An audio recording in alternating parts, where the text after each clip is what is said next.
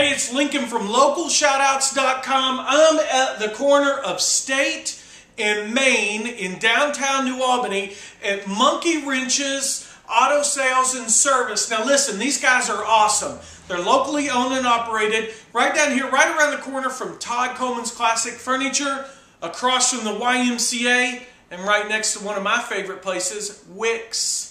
Come in and see them. Monkey Wrenches, they do a lot of work on Volkswagen. Got my wife's Jetta in here, BMW, Mercedes, uh, Volvo. They can work on All American too, but come see them. They've got a good niche. Their prices are great. They're always running specials.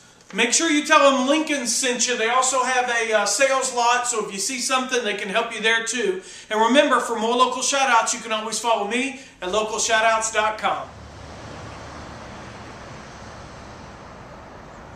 Monkey Wrenches on the corner of State and Main Street in New Albany, Indiana. 812 542 2886. Ask for Daniel or Brian.